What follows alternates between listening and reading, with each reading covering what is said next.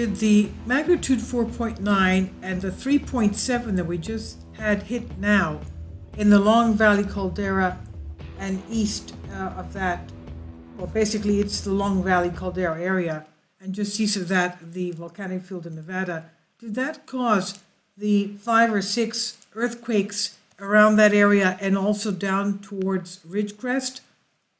That's all a volcanic field, as we know. It's basically along the Owens River Valley. And uh, let's take a look at that because uh, it's to me more than a coincidence that it's happened in the same hour. The 5, uh, 4.9, 4.3, and the quake swarm that we had in Long Valley Caldera and uh, just east of that, Nevada, across the border. But it doesn't mean that it's just, you know, separate.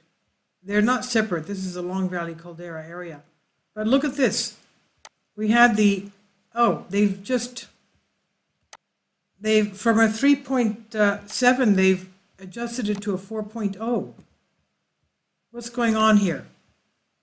I guess they've just changed it to a 4.0, unless it's a new quake in the past hour, um, above the 3.7. Uh, okay, okay, they've, they've adjusted that to a 4.0, I guess. My mistake. They've uh, changed it to a 4.0 from a 3.7. But uh, you can see this, the red is the past hour. And uh, we've had some uh, bigger, than not that one, this one here, 4 point, that 4.9 is what I was talking about. And this is 4.0. They're all uh, shallow, about 10 kilometers depth. And you can see there's about five, the red are the past hour. And um, there's a lot of shaking going on there. And this past hour, we had all along this line as well. Two of them here in Ridgecrest. And they're not big, but it's uh, along the Owens River Valley, right there, 2.0. That's a little bit deeper, it's 15 kilometers. This is 0.8 magnitude, and that one is 0.7 at 11 kilometers. So what's going on there? Obviously, this is the 4.9 shaking from what we saw before has shaken Mono Lake. That's Mono Lake, Long Valley Caldera, Inyo craters right here, Owens River Valley. This whole area has been shaken. All of this is volcanic area. It's volcanoes, Nevada volcanoes there, but it has shaken the Long Valley Caldera, and that's been shaking for over a good month now, with hundreds of quakes, hundreds of quakes a day. And this is Ridgecrest right here, right here. This is the San Andreas Fault. This is the Hayward Fault of the San Andreas Fault system. This is the Garlock Fault. And we had the, uh, day, uh, the other day, we had a 3.5 right here on the Hayward Fault that shook um, the San Francisco Bay. Hayward Fault. And uh, we, and I, that, if you see a couple of videos back, the simulation there uh, says that they are expecting a large earthquake in all three parts of the San Andreas, the north, central, and south. Um, they are expecting large earthquakes. Now, this thing here is, of course, our volcanic area. As we said before, the the um, this is the map of the Mono Lake area, and where we have our legend here is where we have our um, Nevada quakes right here.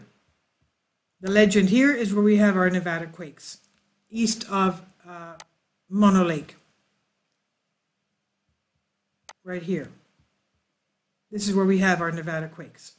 And as you can see that uh, intensity of shaking, unfortunately they stopped the block here, uh, but if we were to extrapolate the lines, this whole area would shake, even the valley here, California, the valley here.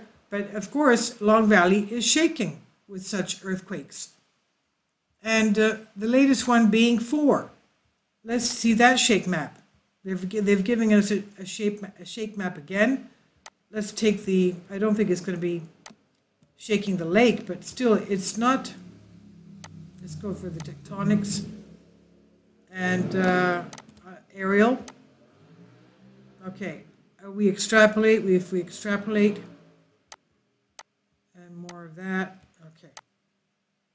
now, if we extrapolate the shaking, of course, it shook again. I mean, of course, it's not good for this supervolcano to be shaking so much.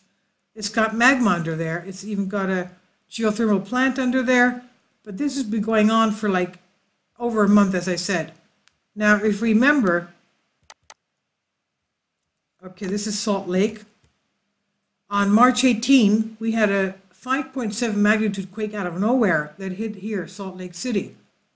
And then about two weeks later, we had a, this is Yellowstone.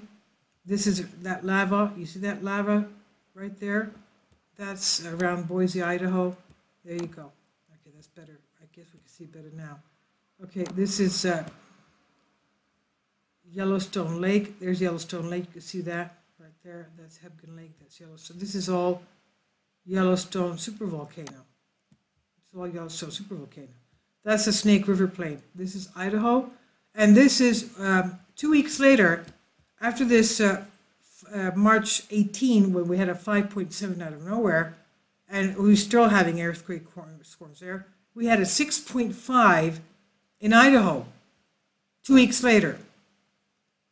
Now, this thing here, uh, I don't know, I don't believe that they're connected, but the thing is that they have the same mantle plume. That mantle plume comes from Baja. The western part goes under San Andreas and Walker Lane Fault System, and the eastern part, it's like a big Y.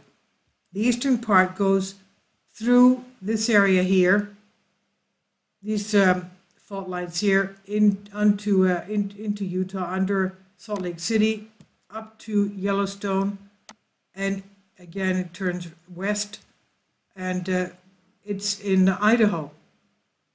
It's like an imaginary seven, like that. Okay, so that's the man, the shape of the mantle plume from what the geologists have shown us, and um, I don't know. Could it be this pressure from the uh, mantle plume that uh, causes those uh, earthquakes? But they're called tectonic earthquakes. Now, going back to Long Valley, it last erupted 760,000 years ago, as we said, and uh, this is our uh, nine volcanoes of Nevada. This is uh, Mono Lake right there. This is where we have our, well, take your pick, you know, the Adobe Hills or Orobodi. Uh, th these are all the closest volcanoes. You have Steamboat Springs. You have a, one more volcano that's not on there, but it's all full of volcanoes just as um, uh, Utah, there's Salt Lake. Utah has eight volcanoes south of Salt Lake, right there, eight volcanoes here. And uh, Idaho has nine volcanoes here. So this whole area, as we said before, is full of volcanoes. There's Idaho, Salt Lake, Utah, Salt Lake City, Nevada has 10 volcanoes. So this whole area is, uh, to me, I'm not um, at all uh, comfortable with the fact that this is shaking so much. This is the 4.9 shaking that we um, had today, 4.9. A couple of a couple of days ago, yesterday, the day before, we had a 3.5 on the Hayward Fault right here, and um, that's overdue uh, for a, a major earthquake, from what the geologists have told us. So all of you there, please be very careful because, oh, there's another one. That just popped up now. That just popped up now. You saw it pop up with me.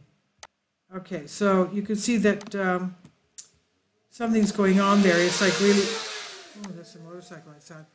Uh, something is really, you know, going on there.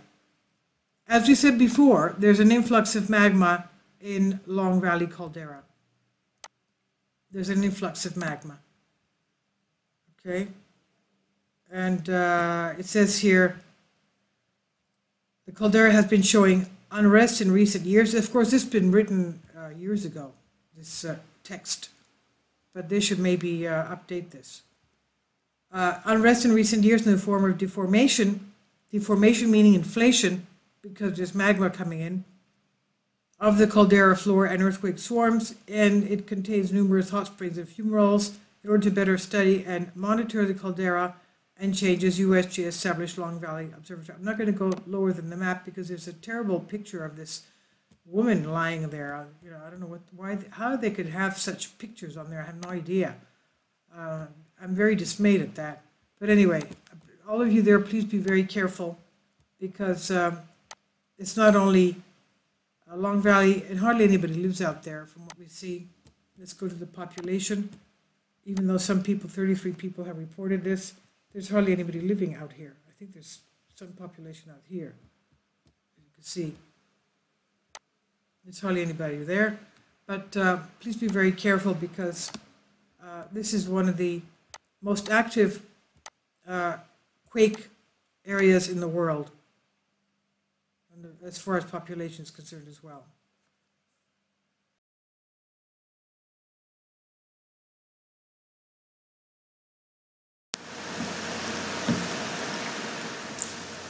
If you'd like to join me on my Patreon account, you will hear content not covered by mainstream media. These riveting stories will be based on my research, and I will state my opinions and give my personal insight on diverse and controversial subjects and world events, events not covered by mainstream media, and not certainly on, not supported by YouTube guidelines.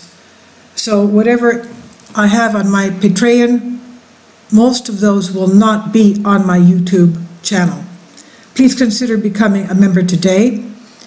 More of the, the most significant and important videos will be on my Patreon channel. Your support helps me to continue my research and keeps this YouTube channel alive. And we depend on your support, your generous charity, because we help economically challenged families here in Athens, Greece, in Kapota, and we also help the young generation with university tuition and the community around our church. Thank you.